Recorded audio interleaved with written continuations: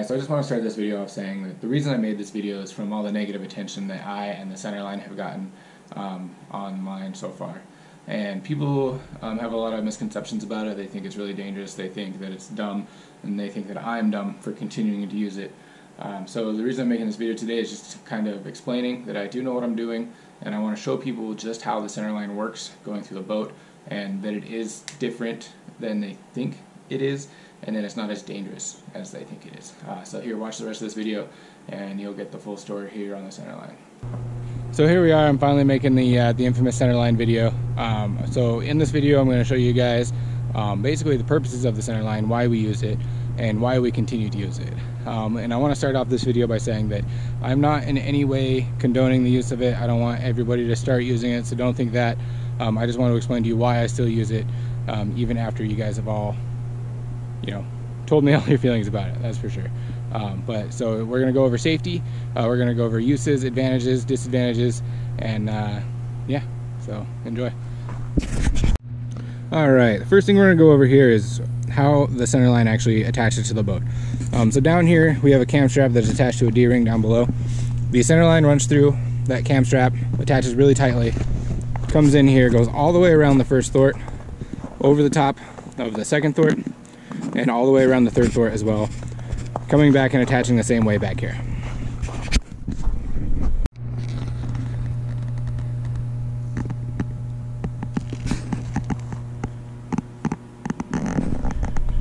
So one of the best uses of the center line and why we love it so much is that your front two paddlers can actually have a really large aid in high siding. Um, it gives you the ability to high side a lot harder than you actually could in any other raft. What happens is the front two paddlers can let go of the paddle with one hand, reach down and grab the center line, and actually high side out over the boat way harder.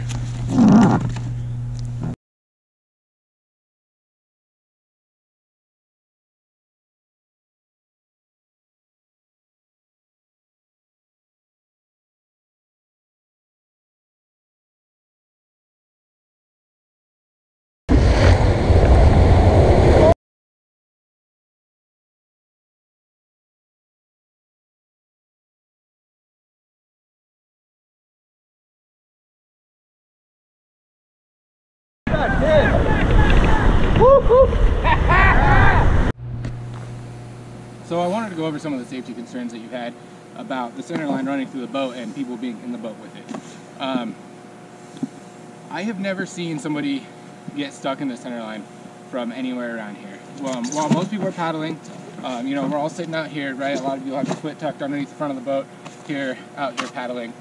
Um, nobody's ever gotten their hand stuck here. Nobody's ever gotten their butt stuck here. Nobody's ever gotten their foot stuck here. Uh, you know, when people fall out, they just fall out. Uh, I've never seen something stop somebody. I've never seen somebody physically get stuck in there in a way that was dangerous at all. I've never even seen it happen before. The only thing I've seen before is this keep you from going in. I've seen a lot of people going in and about to fall out, grab onto the center line and they save themselves. Um, it also works really big for people getting into the boat. Um, if you have somebody who's not quite as mobile and they have a hard time getting into the raft, um, coming up here, if you can, uh, you know, say you're down in the water, you have the perimeter line right here, you pull yourself up. All you have to do is be able to reach the center line and your money. You're in the boat. No problem um, I still haven't been able to find a dangerous situation or a case where somebody has gotten stuck in the center line from right there. Um, as I said before, if your leg goes under here, you just stand up, you're out. If you turn in, your leg goes under, leg goes over.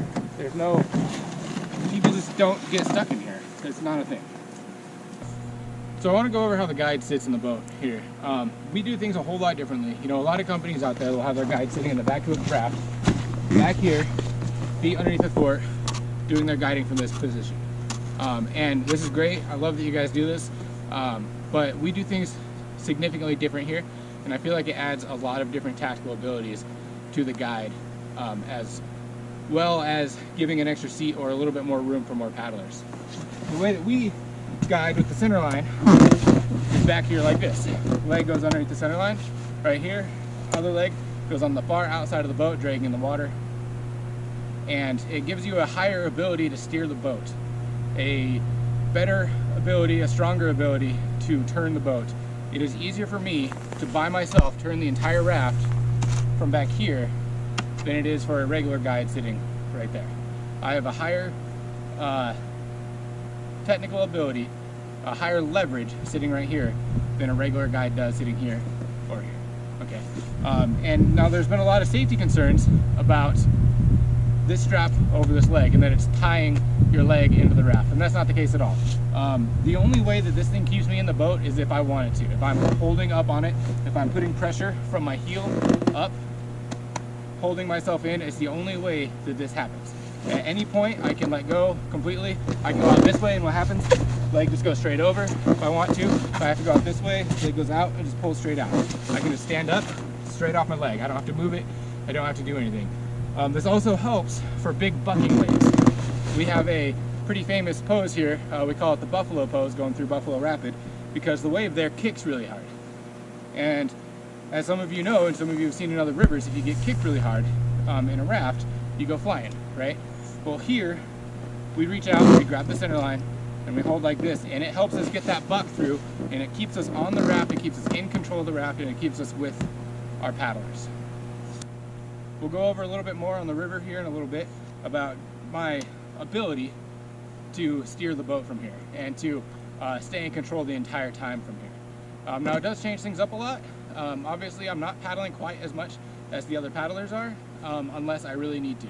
In which case I'll sit a little bit more straight and I'll lean out here and I'll put my extra paddler on the left side or if you're a left-hander the opposite. Um, so we'll go over a few more things here shortly on the water and uh, yeah keep watching.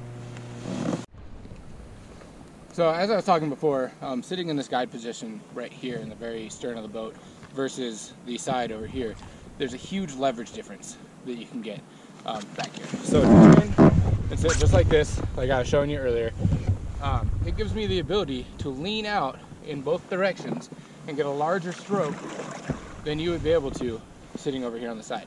So um, if I want to turn the boat left, I can reach way out here in one stroke, move the boat with a whole lot more power than I would be able to if I was sitting on one side or the other. And that is even more so on my backstroke. I can reach behind me and not worry about falling into the river because I am choosing for the center line to hold me in place right here. Um, that is a huge difference when it comes to guiding and an incredible ability to get that angle straight as you're heading into big water. Um, I can keep my paddle in the water right here and rudder in and have a better sight picture of the angle that I want to hit the river or the wave at. And I just, it's really, really nice. And it's not that I need it, it's not that I can't guide from over here, it's that I can do it better from this position right here. That is why I choose to continue to guide back here with the center line. So now that you've kind of seen how the center line runs through the boat, what it does, and kind of how we do things differently, I wanted to go over uh, my experience as a guide, um, just so you guys can tell that I'm not just some rookie coming off the street. Um, this will be my 10th season here um, in 2019 guiding uh, for a company, and the company that I work for has been running the centerline in their boats for uh, over 30 years now, and it is an absolutely amazing system. It has been working this entire time. There haven't been any injuries um, from the centerline. It's just not it's not a thing. I know that there's a lot of perceived danger out there, um, but I wanted to stress that it's not just me. I'm not the only one who does it. Um, thousands of people go down the river a year with this. People flip, people dump truck. It happens. No injuries from the centerline. Um, so I want to go over a few things, um, and I want to kind of go on your guys' side a little bit on it. Some bad things that happen from the center line. Um, pretty much the only bad thing I can come up with is low siding. Um, every once in a while, if someone does kind of get knocked out of seat and doesn't have, or they're not in good position, um, they can reach out and grab that per, or that center line, and they can actually end up hard low siding as opposed to hard high siding. Um, so that is one negative with it. Another negative with it uh, that I can talk about is a more shallow um, deadfall river or a creek, something that has a lot of limbs and trees in it. Um, if the raft were to end up upside down, that center line might get snagged on some tree branches or some limbs or something out there. Um, but that is actually a case where I even know that I wouldn't run the center line in that river um, just because it has that option of happening. Um, that is also a situation where I might not just run that river because those same deadfall twigs, branches might be something that I could get entrapped on with my leg or arm or whatever. That being said, those are kind of the only downfalls I can see um, of the Centerline. I myself and a bunch of other people have been thinking and trying to figure out what is going on with it and what is so um, scary to you guys. And I think it's just that you guys aren't actually taking the time to look at it and see that it's a tight strap versus a loose strap. Um, the Centerline is absolutely amazing for clipping gear too. Um, I've gone out on trips that didn't have a Centerline and we're running NRS straps around thwarts and then clipping stuff to those NRS straps. Um, it's just not super easy. It's not easy to get to. It's not easy to detach if you need to go do something really quick. Um, the Centerline running through the middle of the boat is amazing for clipping gear too. You can just carabiner stuff on there right away. It's super easy, super quick, on and off. It's very nice to use. Um, some people have said that if I can't high side or if I can't steer a boat without the Centerline, that I shouldn't be guiding. Um, and I want to stress that it's not that I can't do that, uh, that this helps us do it better. It would help anybody do it better. Um, and I mean, I've guided boats without them before. I know what it's like. There's a difference between having to do it and wanting to do it, and I want to use the Centerline. I don't have to use the Centerline. I've been doing this for a long time, and I know the difference. Okay.